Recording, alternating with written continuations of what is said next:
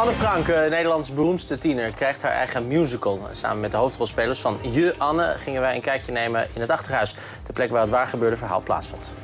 Maar gewoon mijn zuster en mijn ouders denken dat ik nog een kind ben met vlechten. Vanaf november speelt het beroemde verhaal van Anne Frank zich ook buitenshuis op de planken af. Het is sowieso heel bijzonder om die belangrijke geschiedenis mee te nemen naar het theater. En het is voor ons allemaal eh, een hele uitdaging om zo dicht bij de kern te komen. Maar zeker ook wat Anne Frank zo'n belangrijk figuur maakt... is dat ze probeerde vrolijk te zijn en het leven positief in te zien. En een van de mooiste dingen hoe ze dat verwoordt... is dat ze het licht zoekt in de duisternis. En dat is eigenlijk ook waar onze voorstelling over gaat. Nu het dagboek van Anne Frank door de cast van Je Anne uit de verstopte kast is getrokken, wordt het grondig bestudeerd. Het is zo'n bijzondere historische plek. Ik begrijp dat mensen eh, nooit of heel lang er niet achter zijn gekomen... dat er achter deze gekke wand in de boekenkast mensen verstopt zaten. Je kan natuurlijk en, en ook bijvoorbeeld weer een, een blik openen bij, bij mensen, omdat mensen denken van, hé, hey, dat, wat, wat, moet het, wat moet het zwaar zijn geweest voor, voor, voor hun om, om, om in dat achterhuis gezeten te hebben. Naast het doorspitten van Annes Bijbel wordt ook in het achterhuis het grondige speurwerk verricht. De acteurs krijgen de meest exclusieve plekjes van hun mythische personages te zien.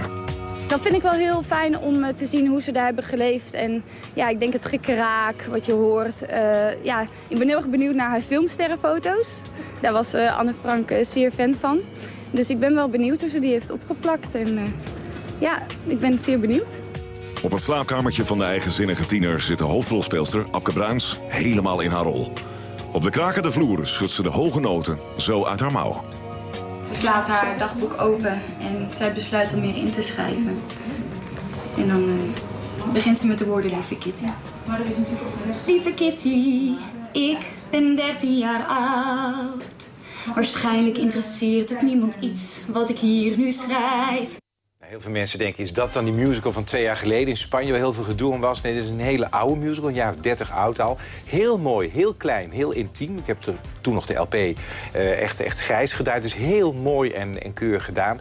En het feit dat deze, eh, de- deze groep mensen... ja, kast is zo'n raar woord in dit verband... maar deze groep mensen Ja. dat, dat achterhuis in mocht... eh, dat, dat geeft eigenlijk aan dat de Anne Frank Stichting... want die zijn heel kritisch wat er gebeurt natuurlijk. Want het moet geen amusement worden. Het, het gaat wel om een boodschap die uitgedragen wordt. Dat betekent eigenlijk gewoon dat ze zeggen... hij is goedgekeurd, die productie. Mooie kleine productie. Gaat op 1 november een première in de Schouwburg van het Park in Hoorn. En eh, draait tot eind eh, februari in heel Nederland. Ik eh, had de redactie even gevraagd, ik rijd daar vaak langs, staan altijd rijen. Gaan ongeveer een kleine miljoen mensen ieder jaar nog steeds, natuurlijk voornamelijk toeristen, daar naartoe. Ongelooflijk Ja, belangrijke plek voor Amsterdam nog Daarom. steeds. En wij moeten ook met z'n allen naar het huis blijven gaan. Generatie op generatie. Goed.